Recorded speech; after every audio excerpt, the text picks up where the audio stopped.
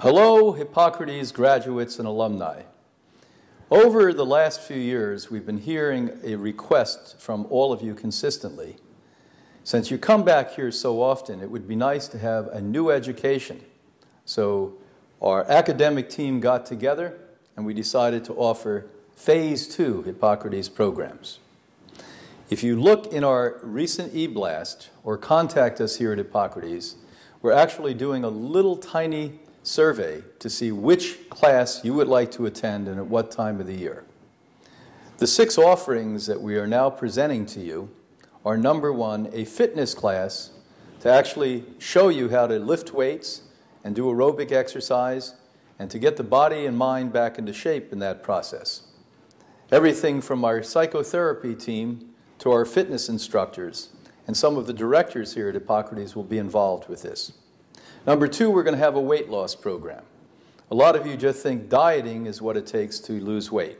It's not so. There's more than dieting.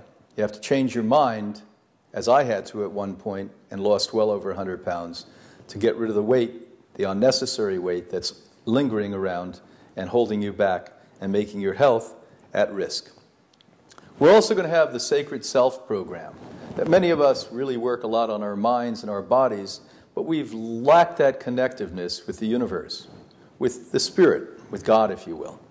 And what we're doing in a non denominational way, with a very wide scope, is helping you rekindle that relationship that you had when you were a little infant and somehow was beaten out of you from the submission you've had to modern culture and society.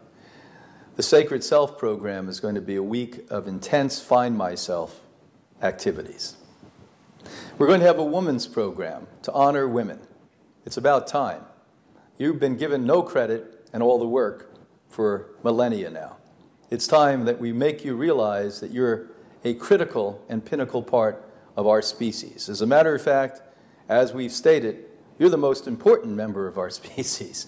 And without you, there'd be no perpetuation of human life, there'd be no tenderness, maternalism, and all the things that I certainly like as a man. We're going to give women an opportunity to liberate themselves from who they think they should be and find themselves so they can be exactly who they want to be. So the women's program is going to be a special time for women to find exactly what they want to do, next step forward. We're also going to have a family program in the summer.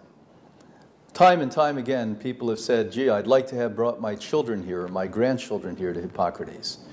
And we did this many years ago, maybe 15 years ago. At that point, there wasn't the interest there is today. So, what we're going to do is launch this summer in 2011 a family program and hope all of your enthusiasm will kindle enough participation so that this becomes an annual event, if not several times during the summer event. Children will have activities, they'll be going around to local attractions, they're going to be actually taught by children. I've actually had a conversation with my son and said that he's got to teach some of the classes and tell children why it's a wonderful thing to be a vegan, to love and respect themselves as well as all the other creatures on this earth that share it with us. We also are talking about other programs in the very near future.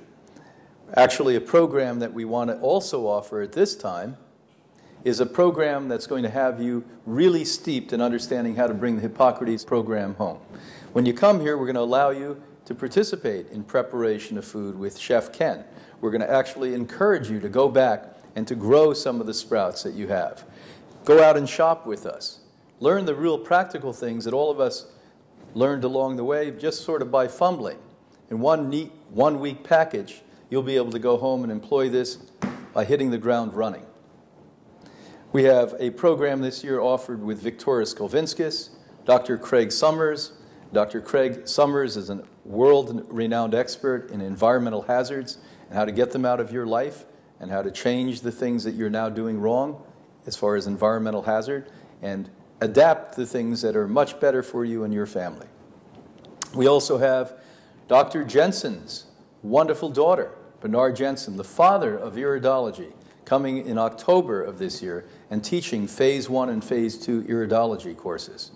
It's going to be a wonderful thing for those of you that you want to be certified in either phase one or phase two iridology. As you know, iridology is a study of the eye, and the iris actually relates to every single organ of the body. And this has been used for many, many, many generations now as a tool to see what's going on with the organ systems of your body. This is only the beginning. As we see more and more enthusiasm and more and more alumni delighted to come back and spend time with us, have more leisure with us in our new pools, our new spa, our steam bath, our color therapy area, our new gym, our large Wigmore Hall that abuts the lake, that hangs over. It's all been feng shuied for those of you that like feng shui. So we welcome you to the new Hippocrates and look forward to see you, your family, and friends to come here so that we can perpetuate health worldwide.